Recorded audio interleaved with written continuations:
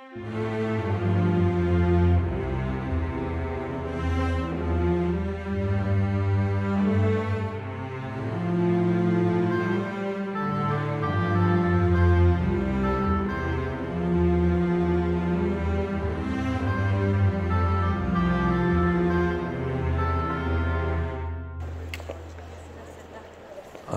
uh, was very, uh, uh, really delighted to show in Cologne.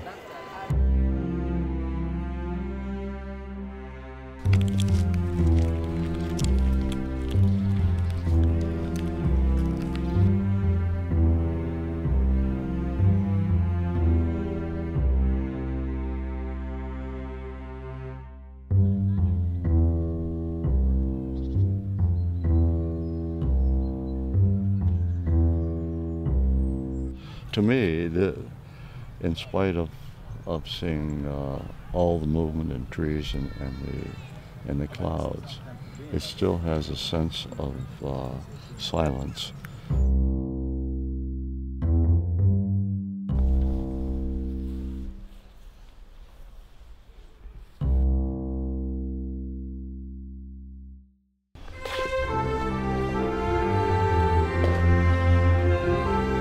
Hey, Joe!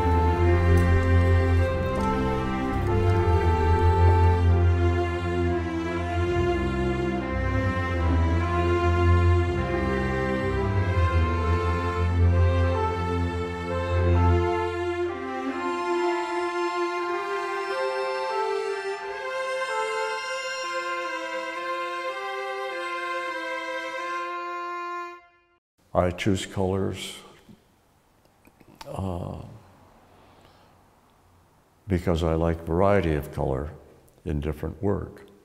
Uh, I used to paint just white paintings, but when I started to paint in color, it gave me greater choice of uh, what I could see and the challenge of getting an evenness on the canvas so that there is not one point that is any different than the other. So it's a monochromatic painting. Joe always told me painting for me is like meditation. He said like meditation, but this is a special, uh, this is a question of a special interest. Um, how these paintings are able to invite other peoples to go inside or to feel something which comes from inside and they find a focus and they find a concentration about their own question to become silent, to become concentrated, but also excited.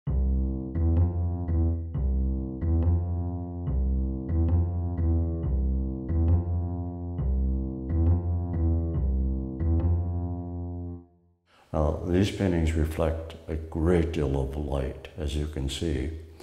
Uh, there are limited colors, but I started to experiment with this paint uh, several years ago.